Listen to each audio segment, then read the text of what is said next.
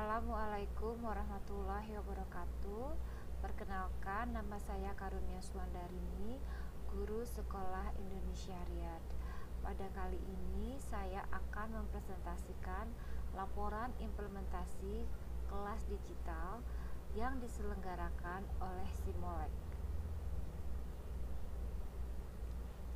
Edmodo sebagai alat untuk memfasilitasi kegiatan belajar mengejar peserta didik akan saya gunakan sebagai alat untuk mengkompilasi sumber belajar.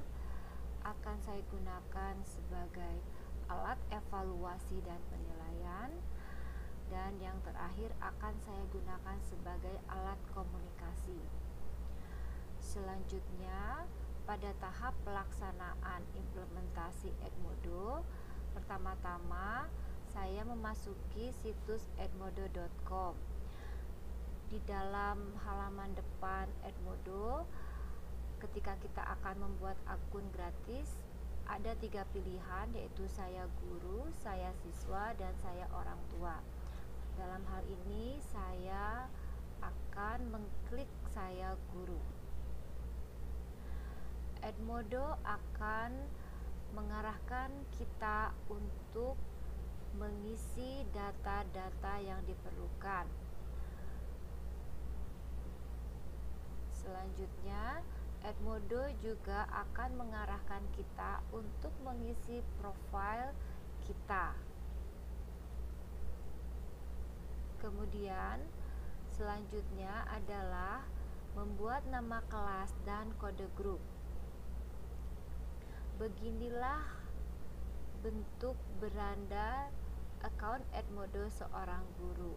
Ketika kita akan membuat grup, yang paling mudah adalah kita menuju menu grup. Di bawah menu grup itu terdapat bar buat sebuah grup. Kita klik bar buat sebuah grup tersebut, maka akan tampaklah kolom-kolom yang bisa kita isi kita isi dengan nama grup kita, kelas kita, mata pelajaran kita, dan akan digunakan sebagai apa grup yang akan kita buat ini. Kemudian kita klik bentuk buat, maka akan muncullah kode grup.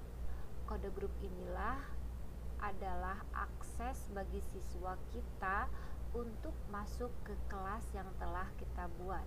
Dalam hal ini adalah kelas digital dan sekarang bagaimana caranya seorang siswa untuk bisa masuk ke dalam kelas digital yang telah kita buat? Langkahnya adalah sama. Mereka kita minta masuk ke situs edmodo.com dan di sana mereka mengklik saya siswa. Edmodo akan mengarahkan mereka untuk mendaftar di sini mereka diminta untuk mengisi kolom-kolom yang telah disediakan. Bagi siswa yang tidak memiliki email atau surel, mereka masih dapat menjadi anggota Edmodo karena mengisi email atau surel itu adalah pilihan opsional. Selanjutnya, beginilah bentuk account atau beranda yang dimiliki oleh peserta didik, di mana nama peserta didik terletak di sebelah sini, kemudian nama kelas mereka. Selanjutnya, seperti yang telah saya sebutkan di awal, Edmodo akan digunakan sebagai sumber belajar. Salah satu fasilitasnya adalah fasilitas perpustakaan di dalam perpustakaan kita bisa mengkompilasi berbagai macam sumber bahan belajar kita bisa melalui internet, bisa melalui newspaper and magazine, bisa melalui buku-buku dan juga video-video pembelajaran. Berikut ini adalah lampiran dari perpustakaan kita. Di sini adalah ikon perpustakaan kita dan di sini adalah ruang dari perpustakaan kita tersebut. Beginilah bentuk folder dari isi dari folder. terdiri dari file. File tersebut bisa diambil dari link internet edukasi atau bisa kita mengupload dari komputer kita. Selanjutnya, Edmodo juga akan digunakan sebagai alat evaluasi atau penilaian. Dalam hal ini, salah satunya adalah berbentuk quiz. Bentuk soal yang diselenggarakan atau disediakan oleh Edmodo itu ada lima macam, yaitu satu multiple choice, yang kedua adalah short answer questions, yang ketiga adalah fill in the blank, yang keempat adalah matching, yang kelima adalah true or false. Beginilah tampilan dari um, laman kuis kita. Sedangkan bentuknya adalah seperti berikut ini. Ini adalah bentuk untuk multiple choice atau pilihan ganda ini bentuk dari match atau menjodohkan mencocokkan. Berikut ini adalah mengisi kalimat rumpang atau fill in the blanks. Selanjutnya adalah bentuk soal short answer atau jawaban singkat. Dan yang terakhir adalah bentuk soal salah atau benar. Di laman beranda siswa, apabila seorang siswa ingin mengikuti sebuah kuis, maka dia tinggal mengklik masuk kuis.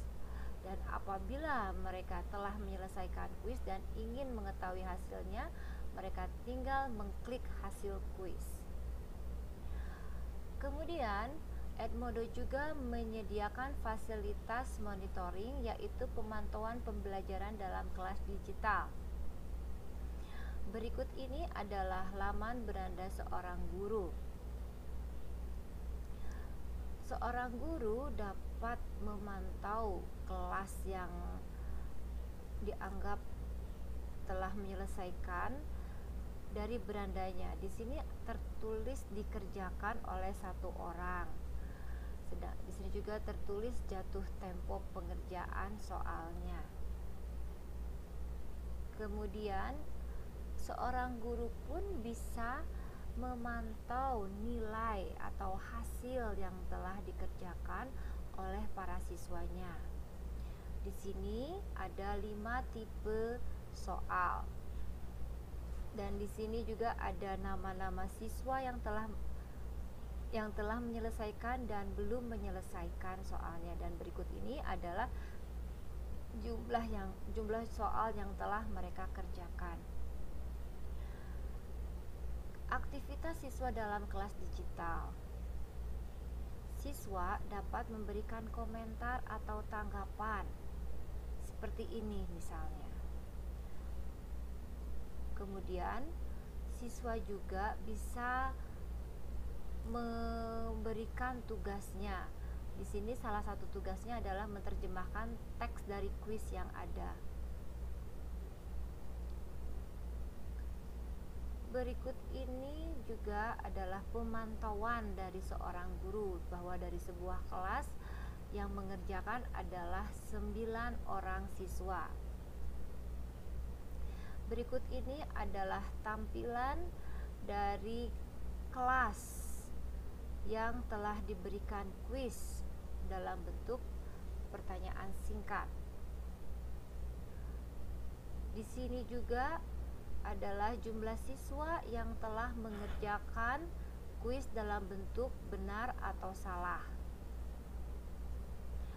Kemudian Edmodo juga menyediakan fasilitas refleksi, yaitu umpan balik pemanfaatan Edmodo di kelas.